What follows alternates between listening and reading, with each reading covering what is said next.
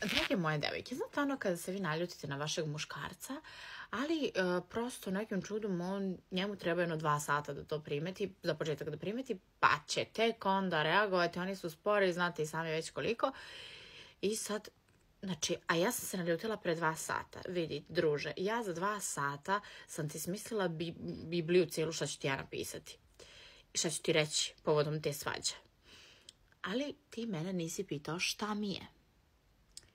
I sad mi čekamo taj moment da on nas pita šta mi je. A to vrlo često kod muškaraca zna da bude posle 24 sata. 10 sati u nekom dobrom slučaju, 5 sati u nekom još boljem slučaju, ali ispod toga teško. I sad, moj savjet za vas, što sam ja počela praktikujem, jer slušajte, mi znamo da se iskuliramo i znamo da zaboravimo, ja bar, ja lepo u jeku tih emocija i bura, šta bi mu rekla, uđem u beleške. Au, majka Mara. Majka Mara su vam beleške.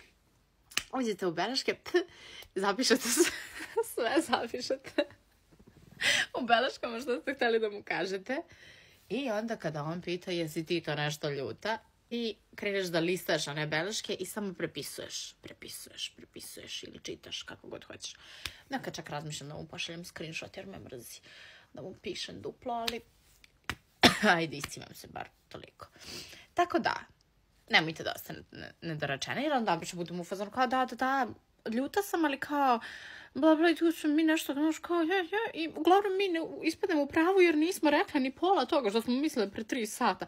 Pa druže, pa čekaj, pa nisam pitao na vreme, imam da ti kažem, sta, čekaj da uđem u beleške, čoveče.